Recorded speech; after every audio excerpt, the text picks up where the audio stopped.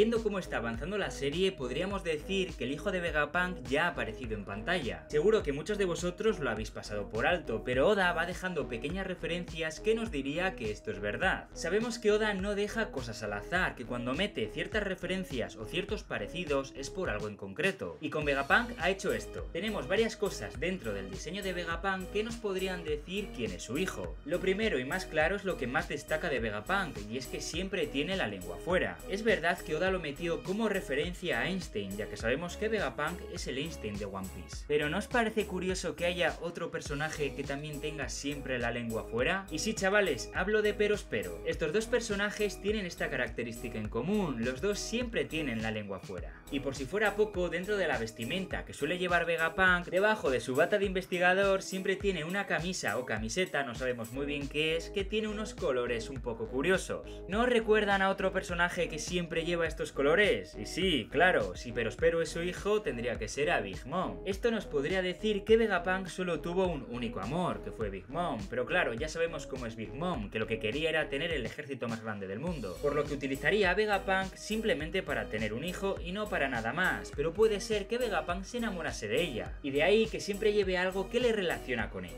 Y tú te preguntarás, ¿cómo puede ser que se hayan conocido? Pues muy fácil, porque ambos fueron desde hace muchos años, más o menos desde mucho antes de la edad de Perospero, piratas de renombre. Ya sabemos que Big Mom fue parte de Sebek y que ha formado una de las mayores tripulaciones dentro de One Piece, ya sabemos por qué llegó a ser un gran Yonkou, y Vegapunk por estar dentro de los MADS, esta organización de investigadores que se dedicaban a buscar cosas para sus investigaciones futuras. Por lo que no sería raro que en ese entonces se conociesen, se no enamorasen, igual Vegapunk sí, pero Big Mom no, y tuviesen a Perospero, uno de los hijos más importantes dentro de la familia de Big Mom. Es verdad que Perospero no es que sea un personaje muy inteligente, pero claro, no todos los personajes que tienen padres o madres inteligentes lo son. Ya vemos, por ejemplo, a Luffy o a otros personajes parecidos. Por lo que yo no descarto que Perospero sea el hijo de Vegapunk. Para mí sería un gran plot twist de Oda, otro de esos pequeños detalles que nos va dejando para que nosotros nos comamos la cabeza y hagamos teorías para tenerlas por aquí. No sé qué te parece a ti esta teoría, si tú crees que realmente es su hijo o que simplemente es una mera coincidencia, pero déjamelo en los comentarios que me gusta hablar sobre estos temas con vosotros.